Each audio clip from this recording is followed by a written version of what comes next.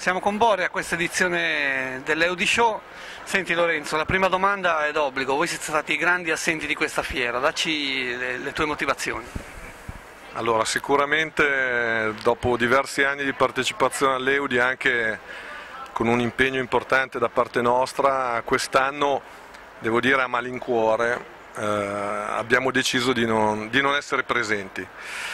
La decisione è, giustificata, è presto giustificata. Oggi l'Italia rappresenta per Homer una parte importante del fatturato, ma non più così importante come era agli albori dell'azienda fino a qualche anno fa. E, per nostra fortuna le esportazioni sono cresciute molto negli ultimi anni e oggi l'export rappresenta di gran lunga la maggioranza, la maggior parte del nostro fatturato. Ecco che quindi quest'anno, ripeto malincuore, abbiamo deciso di investire i soldi che normalmente dedicavamo all'Eudi in, eh, in, in spese di marketing, pubblicità, di fiere all'estero e quindi purtroppo essere presenti dappertutto, sulle riviste, in fiera, all'estero diventa veramente importante, diventa pesante per cui ecco che quest'anno abbiamo dovuto rinunciare a qualcosa. Senti, oggi lo possiamo dire, siamo all'ultimo giorno, comunque questa fiera è stata un successo. Eh, questo vi fa pensare comunque per l'anno prossimo di essere presenti, perché gli appassionati pescatori insomma, vi hanno cercato per tutti questi giorni. Allora, sicuramente la fiera è stato un successo, la cosa mi fa e ci fa moltissimo piacere, vuol dire che comunque il settore è vivo, è dinamico, che c'è interesse e che insomma, è stato lavorato bene, si, si è lavorato bene. Naturalmente questo se vuoi accresce da un lato la, il dispiacere per non essere presenti, però ripeto, siamo molto contenti. Io penso proprio che l'anno prossimo torneremo a essere presenti all'Eudi, eh, stiamo già discutendo anche con eh, i nostri competitor, le altre aziende, su come impostare la fiera l'anno prossimo e quindi ripeto, conto che l'anno prossimo saremo e mi dispiace per tutti i pescatori che ci hanno cercato cercheremo di raggiungerli in un altro modo. Io ormai da anni faccio delle serate di presentazione di tutte le novità di prodotto in giro per l'Italia, quest'anno proprio perché, per il fatto di non essere venuti all'Eudi ne farò ancora di più, cercheremo di raggiungere in tutti i modi i nostri clienti e di essere presenti. Senti, l'anno scorso avete catalizzato la fiera di Roma con eh, le produzioni Homer e quelle nuove Spora e One quest'anno non, non essendoci eh, la gente vuole sapere cosa bolle in pentola per, per, vostre, per il vostro futuro. Allora, di cose in, pe- in, pentola come direi da sempre in Homer ne bollono tante. Eh, siamo usciti con il catalogo 2010 Homer eh, e Homer Accessories con tante novità importanti. Abbiamo tutta una linea di nuove mute molto innovative e molto belle eh, che abbiamo proposto e che abbiamo iniziato a consegnare adesso nei negozi, devo dire con grande soddisfazione. Abbiamo presentato delle pinne in carbonio molto belle, molto performanti, anche quelle stanno riscuotendo successo. Abbiamo fatto tutta una linea di nuove aste tecniche che noi denominiamo America, le cosiddette australiane con le pinnette e presto usciremo col catalogo nuovo Spora Sub dove anche lì ci saranno importantissime novità che sicuramente faranno piacere. E questo è solo quello che è già diciamo, stato fatto, non, eh, anzi ti do una notizia in anteprima assoluta, non, non, lo sanno neanche i nostri negozianti, i nostri clienti, ma stiamo per proporre sul mercato delle novità Homer, che sono novità rispetto al catalogo 2010, quindi novità su, di novità e anche lì ci sono cose molto importanti. Una su tutte stiamo, inizieremo fra un mese e mezzo la consegna dei nuovi computer d'apnea MIC 1, MIC significa amico in hawaiano, e di cui siamo molto, molto soddisfatti. Anni e anni veramente di test, di lavoro per riuscire a trovare il prodotto giusto con l'affidabilità giusta. Siamo convinti di esserci riusciti, da aprile saranno disponibili nei negozi a un prezzo molto molto aggressivo. Senti, voi siete entrati sul mercato con un nuovo marchio, quindi con un marchio storico però preso da Homer. nell'anno forse più difficile perché è stato l'anno della crisi e ci puoi fare un bilancio di, comunque di questo primo anno di, di produzioni Spora? Volentieri.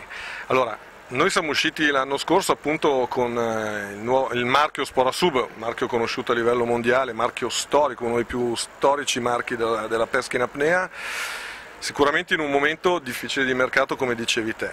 È anche vero che il nostro progetto partiva da ben prima, quindi siamo arrivati l'anno scorso, ma la decisione di entrare con il marchio Spora Sub è stata una decisione presa decisamente in precedenza. Siamo molto soddisfatti. Eh, innanzitutto perché secondo me anche a livello di immagine abbiamo dato l'immagine di un'azienda che in un momento di crisi, quando un po' tutti erano lì che si guardavano intorno e meditavano molto prima di prendere determinate decisioni, noi non solo abbiamo innovato come catalogo Homer, ma siamo addirittura arrivati con un nuovo catalogo. Quindi questo sicuramente ci ha giovato. Ci ha fatto molto piacere poi il fatto che originariamente eh, Homer e Sporasub erano legate, perché prima che il marchio Sporasub eh, facesse parte del gruppo Mares era stato collegato a Homer, la proprietà era la stessa. Quindi anche dal punto di vista affettivo per noi è stato un risultato importante. A livello invece di, di risultati di mercato devo dire che siamo molto contenti, anche se...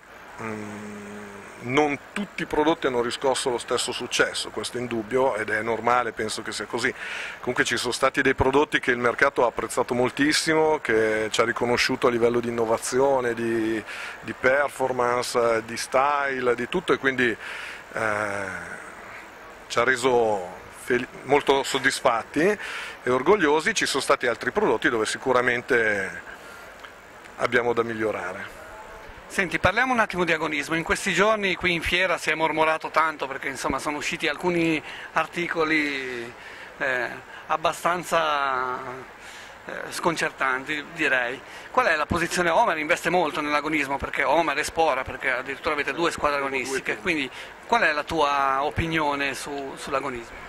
Guarda, chi ha letto l'articolo conosce la nostra posizione, noi siamo fermamente e totalmente a favore dell'agonismo cioè, riteniamo che come in tutti gli sport, noi consideriamo che comunque la pesca in apnea sia uno sport, anche se uno sport, se vogliamo, abbastanza tipico, però riteniamo che l'agonismo sia fondamentale.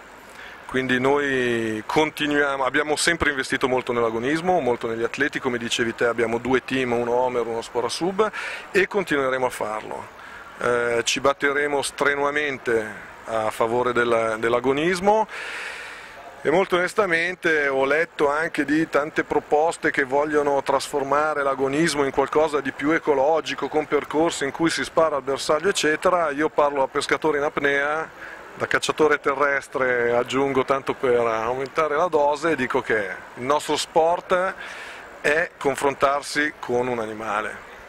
Eh, e questo deve essere, nel senso non credo assolutamente che far sparare dei pescatori in apnea a dei bersagli di polistirolo possa sostituire la pesca vera e propria. Senti, voi avete, avete no, se vuoi aggiungere, fa piacere. No, nell'articolo si parlava tanto anche di regolamenti, sì. di modifiche, eccetera. Eh, tutte le cose sono migliorabili però io penso che negli ultimi anni forse si è già cambiato troppo e quindi personalmente ritengo che stravolgere quelle che sono le regole attuali a priori non sia un bene. Poi, per carità, discutiamone, parliamone, essere chiusi nelle proprie posizioni non è mai corretto, per cui... Senti, voi come azienda siete diciamo, l'unica che fa eh, solo prodotti per la pesca in apnea, però molti ricorderanno che Homer aveva iniziato anche a avere un, eh, aveva iniziato proprio con un catalogo diciamo, a, per immersione con le bombole. È una scelta che eh, a posteriori, ora con l'esperienza che avete oggi, rifareste quella di abbandonare l'ara e di dedicarvi in toto alla pesca oppure c'è qualche... Allora, ti dico, ti rispondo raccontando un po' la mia esperienza professionale in Homer. Io sono entrato in Homer 11 eh, anni fa e quel, in quel momento Homer fatturava più con il catalogo ARA, quindi con materiali per le bombole da snorkeling, che non con il materiale per la pesca in apnea. Quindi se vuoi, lì per lì sembrava impossibile pensare di rinunciare a una parte che era addirittura più grande dell'altra a favore solo della pesca in apnea. Dopo due o tre anni in azienda io sono stato uno dei promotori, chiaramente insieme alla proprietà, eh, che comunque ha, ha chiaramente il potere decisionale, per abbandonare il settore delle bombole e concentrarsi esclusivamente alla pesca in apnea per due motivi. Prima di tutto perché nel mondo dell'ARA eh, per essere delle aziende competitive nel mercato mondiale bisognava avere delle dimensioni tali da poter investire grossissime cifre in ricerca e sviluppo, cosa che nel nostro caso non, non era. Quindi si rischiava, se vuoi, di concentrare molte risorse in un settore dove comunque avremmo rischiato di rimanere indietro rispetto ai colossi molto più grandi di noi. In secondo luogo Homer è un'azienda che è nata come attrezzatura di pesca in apnea e ce l'ha nel DNA. In Homer tutti, ma ecco, escludo forse qualche operaio o qualche impiegata, ma siamo tutti appassionatissimi pescatori, ce l'abbiamo nel sangue. Quindi dai, dalla proprietà uh, a me, a tanti collaboratori, amiamo il mare, amiamo la pesca in apnea. E quindi quella era una cosa nostra, una cosa che probabilmente sapevamo fare meglio non, che non le bombole, che anche lì eravamo molti appassionati, io compreso, ma meno, avevamo meno passione per le bombole e quindi oggi il fatto di aver preso questa scelta molto difficile, abbandonare l'ara, concentrarsi sulla pesca, ci ha portato dei grandissimi risultati. Oggi fatturiamo molto di più con la sola pesca di quanto fatturavamo 11 anni fa con tutte e due e, e, questo ci ha portato ad avere nel mondo una posizione di leadership eh, incontrastata, oserei dire, e quindi ci fa molto piacere, insomma siamo molto soddisfatti. Senti, l'ultima domanda, eh, mi ricollego proprio a quello che hai detto, in Homer eh, sia, diciamo, i vertici sono tutti pescatori, quindi ci, ci sei tu, c'è Marco Ciceri, c'è Marco Bardi, Ciceri, c'è Bardi, Marco Pisello, ci siete insomma tutti, tutti, appassionati. tutti, appassionati. I test ve li fate da soli? Sì, ma direi più no che sì, nel senso chiaramente eh, da buon pescatore quando vedo un prototipo in Homer non vedo l'ora di, di rubarlo all'ufficio tecnico e di andare in acqua a provarlo però sono anche perfettamente conscio che non ho le capacità di tester che possono avere atleti che vivono al mare tutti i giorni o quasi.